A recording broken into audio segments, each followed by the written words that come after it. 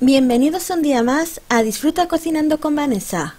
Hoy vamos a hacer paté de mejillones. Un aperitivo rápido, barato y con solo tres ingredientes.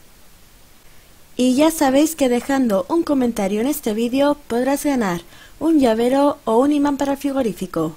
El ganador lo diré en la próxima receta.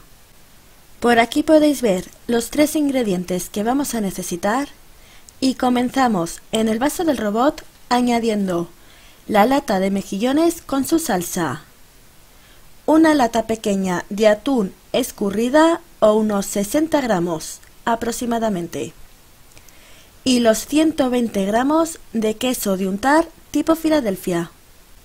Y con la tapa y el cubilete puesto programamos 30 segundos velocidad 5. Y ya tendríamos listo el paté de mejillones. Ya solo quedaría echarlo en un bol o en un plato donde lo vayamos a servir. Tapamos con papel film para que no se reseque y metemos en el frigorífico hasta la hora de consumir. A mí me gusta prepararlo un poco antes para que coja más cuerpo y maceren todos los ingredientes. Y espero que os haya gustado, que lo probéis y no olvidéis en darme un me gusta y en suscribiros a mi canal. Os dejo con el resultado del sorteo del vídeo anterior y nos vemos en la próxima receta.